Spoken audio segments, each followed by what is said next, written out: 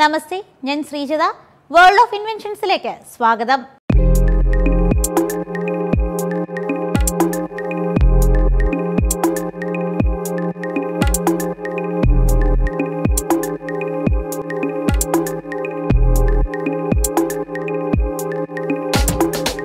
ചുറ്റുമൊന്ന് കണ്ണോടിച്ചാൽ മനുഷ്യരെക്കാൾ കൂടുതലായി നമുക്ക് കാണാനാകുക യന്ത്രങ്ങളെയാണ്. തീർത്തും യന്ത്രവൽകൃതമായ ലോകത്താണ് നാം ജീവിക്കുന്നത് എന്നതാണ് ഇതിന് കാരണം. യന്ത്രങ്ങളുടെ കണ്ടുപിടുത്തം മനുഷ്യന്റെ കായിക അധ്വാനത്തെ ഇല്ലാതാക്കി. അതേസമയം തന്നെ നമ്മെ മടിയന്മാരുമാക്കി. ഇന്ന് എന്തിനും ഏതിനും യന്ത്രങ്ങളെയാണ് നാം ആശ്രയിക്കാറ്. ഇത്തരത്തിൽ വസ്ത്രങ്ങൾ അലക്കാൻ നാം ആശ്രയിക്കുന്ന അലക്കയന്ത്രം അഥവാ വാഷിംഗ് മെഷീന്റെ കണ്ടുപിടുത്തവും തുടർന്നുള്ള വിശേഷങ്ങളുമാണ് Janam T V dot com world of ഇൻവെൻഷൻസിന്റെ ഈ അധ്യായത്തിൽ നാം പരിചയപ്പെടാൻ പോകുന്നത്.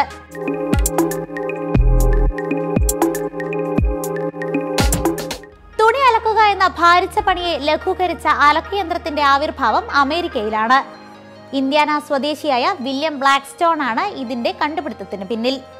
വസ്ത്രങ്ങൾ അലക്കി ഭാര്യ ബുദ്ധിമുട്ടുന്നത് കണ്ട ബ്ലാക്ക്സ്റ്റോൺ ഇതിനൊരു പരിഹാരം കാണാൻ തീരുമാനിക്കുകയായിരുന്നു. ഇതേ തുടർന്നാണ് ലോകത്തെ ആദ്യ അലക്കയന്ത്രം രൂപം കൊണ്ടത്. നിരന്തര ശ്രമങ്ങൾക്ക് ശേഷം നിർമ്മിച്ച അലക്കയന്ത്രം ആയിരത്തി എണ്ണൂറ്റി എഴുപത്തിനാലിൽ അദ്ദേഹം ഭാര്യയ്ക്ക് സമ്മാനമായി നൽകി. കൈകൾ കൊണ്ട് വസ്ത്രങ്ങൾ കഴുകുന്ന അതേ രീതി അവലംബിച്ചായിരുന്നു ബ്ലാക്ക് സ്റ്റോൺ അലക്കയന്ത്രം നിർമ്മിച്ചത്. പരന്ന ഒരു വലിയ പലകയും ആറ് മരക്കഷ്ണങ്ങളും ചേർത്തായിരുന്നു നിർമ്മാണം. ഒരു ഹാൻഡിൽ കൊണ്ട് മരക്കഷ്ണങ്ങളെ മുന്നോട്ടും പിന്നോട്ടും ചലിപ്പിക്കാൻ സാധിക്കുന്നതായിരുന്നു ബ്ലാക്ക് സ്റ്റോണിന്റെ അലക്കയന്ത്രം. സോപ്പ് വെള്ളത്തിൽ മുങ്ങിയിരിക്കുന്ന വസ്ത്രം ഈ പലക കഷ്ണങ്ങളിലൂടെ കറങ്ങുമ്പോൾ അഴുക്ക് ഇളകിപ്പോകും. ബ്ലാക്ക് സ്റ്റോണിന്റെ കണ്ടുപിടുത്തങ്ങളുടെ ചുവട് പിടിച്ച് പിന്നെയും അലക്കയന്ത്രങ്ങൾ കണ്ടുപിടിക്കപ്പെട്ടെങ്കിലും ഇവയുടെ വളർച്ചയിൽ നിർണായകമായത് ആയിരത്തി തൊള്ളായിരത്തി എട്ടിലെ കണ്ടുപിടുത്തമായിരുന്നു. ആയിരത്തി തൊള്ളായിരത്തി എട്ടിലായിരുന്നു ആദ്യത്തെ ഇലക്ട്രിക് വാഷിംഗ് മെഷീൻ കണ്ടുപിടിച്ചത്. ഷിക്കാഗോയിലെ ഹർലി മെഷീൻ കമ്പനിയിലെ ജീവനക്കാരനായിരുന്ന ആൽവ ജെ ഫിഷർ ആയിരുന്നു ഈ കണ്ടുപിടുത്തത്തിന് പിന്നിൽ.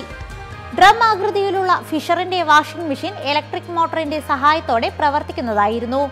ആദ്യകാലത്ത് അലക്കയന്ത്രത്തിന്റെ അടിഭാഗത്തായിരുന്നു മോട്ടോർ ഘടിപ്പിച്ചിരുന്നത്. അതിനാൽ തന്നെ അലക്കുമ്പോൾ വെള്ളം തെറിച്ച് അപകടങ്ങൾ ഉണ്ടാകുക പതിവായിരുന്നു. പിന്നീട് കൂടുതൽ കാര്യക്ഷമമായ യന്ത്രങ്ങൾ കണ്ടുപിടിച്ചതോടെ ഈ പ്രശ്നം പരിഹരിക്കപ്പെട്ടു.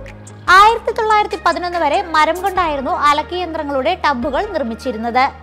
പിന്നീട് മരത്തിന് പകരം ലോഹങ്ങൾ കൊണ്ടുള്ള ടബുകൾ ഉപയോഗിക്കാൻ തുടങ്ങി. ആയിരത്തി തൊള്ളായിരത്തി ഇരുപതോടെ അലക്കിയന്ത്രങ്ങളിൽ നിന്നും മരം പൂർണമായും ഒഴിവാക്കപ്പെട്ടു. ഇതിനുശേഷമായിരുന്നു അലക്കയന്ത്രങ്ങളുടെ ഇന്ന് കാണുന്ന രീതിയിലേക്കുള്ള മാറ്റം ആരംഭിച്ചത്. ആയിരത്തി തൊള്ളായിരത്തി ഇരുപത്തിരണ്ടിൽ അമേരിക്കയിലെ മെറ്റാ കമ്പനി തുണിയിലേക്ക് വെള്ളം പമ്പ് ചെയ്യുന്ന സംവിധാനം അലക്കയന്ത്രത്തിൽ ഏർപ്പെടുത്തി. ഒരുപാട് നേരം യന്ത്രത്തിനകത്ത് കിടന്ന് കറങ്ങുന്നു എന്നതിനാൽ തുണികൾ വേഗം കേടുവരുന്നു എന്നത് അലക്കയന്ത്രങ്ങളുടെ പ്രധാന പോരായ്മയായിരുന്നു. പിന്നീട് ഈ പോരായ്മ പരിഹരിക്കാൻ ക്ലോക്ക് സംവിധാനവും ഏർപ്പെടുത്തി. നിരന്തര പരീക്ഷണങ്ങൾക്കൊടുവിലാണ് ഇന്ന് കാണുന്ന അലക്കയന്ത്രങ്ങൾ രൂപം കൊണ്ടത്. കൂടുതൽ ഉപഭോക്തൃ സൗഹൃദമാക്കാൻ ഇന്നും അലക്കേന്ദ്രങ്ങളിൽ പരീക്ഷണങ്ങൾ തുടർന്നുകൊണ്ടേയിരിക്കുകയാണ്.